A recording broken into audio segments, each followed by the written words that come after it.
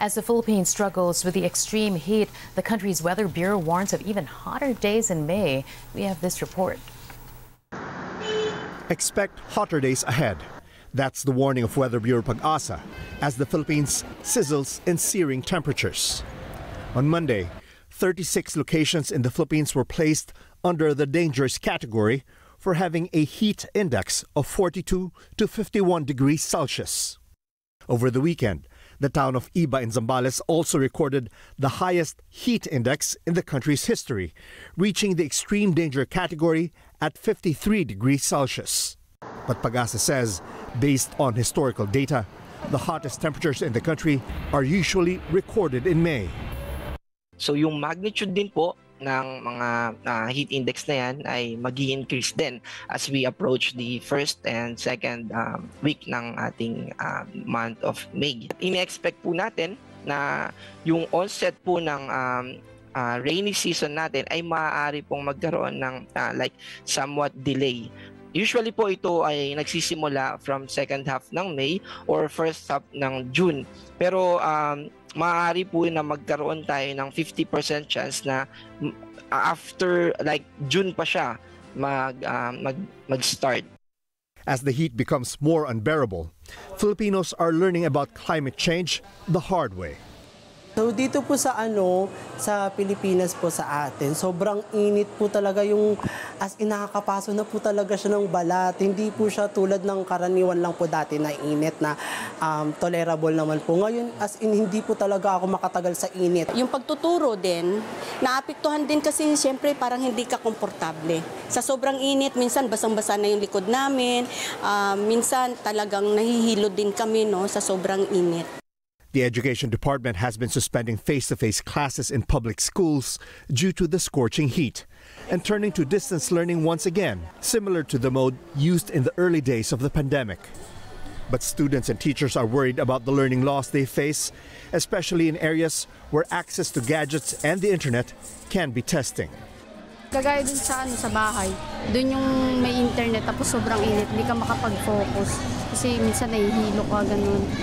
For one group, shifting to the old academic calendar of June to March could be a welcome change.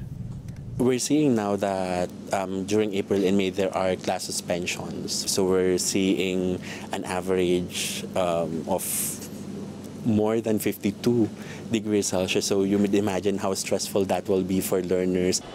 Already, Philippine students are facing learning setbacks with math, science, and reading scores among the lowest in the world, according to the Program for International Student Assessments rankings in 2022. As school gates remain shut, small businesses and workers are also taking a hit. Malaki pong impact eh sa negosyo eh. Napakalaki.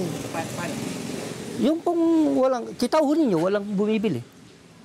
Walang bumibiling ano, sinong bibili sa'yo kung wala namang mga estudyante bibili ng mga school supply.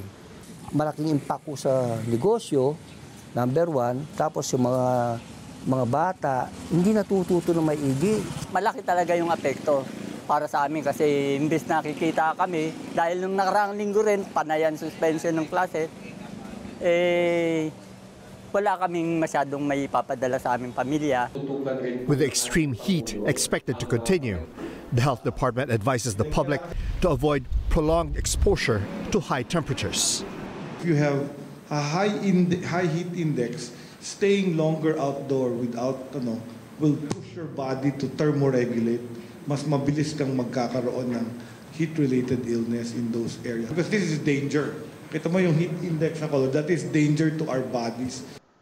For one expert, more interventions can still be done to combat the worsening effects of climate change.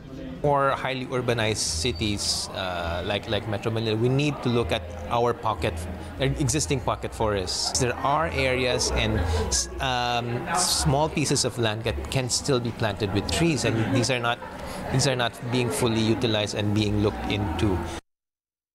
Despite the extreme heat, Metro Manila and nearby provinces likely to get enough water supply for the first half of next month. The National Water Resources Board earlier granted the Metropolitan Waterworks and Sewerage System, or MWSS, full allocation of water from Angat Dam. That's from May 1st till the 15th. Angat Dam is Metro Manila's main source of water.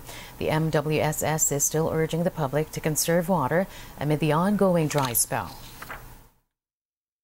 Wala pong magiging interruption na ang reason po ay mababa po yung binibigay na allocation ng Angat Dam. Pero patuloy pa rin po no, kung may mga maintenance activities po na ginagawa po sa ating sistema ay mag-announce naman po ang ating pong Maynila at Panilawan. Mag-implement po tayo ng mga conservation initiatives po no even if we have this uh, full allocation. So dapat pare-parehas po tayong magsakripisyo po no lahat po ng gumagamit po ng tubig kasi ayon po sa aming pag-aaral po no yung 8 minutes po na paliligo po natin ay gumagamit po tayo ng around 60 na liters po ng tubig. So as much as possible po no kung maaari ay bawasan po natin yung uh, minuto po ng paliligo po natin para ma ah, makatipid lamang po tayo ng tubig. So,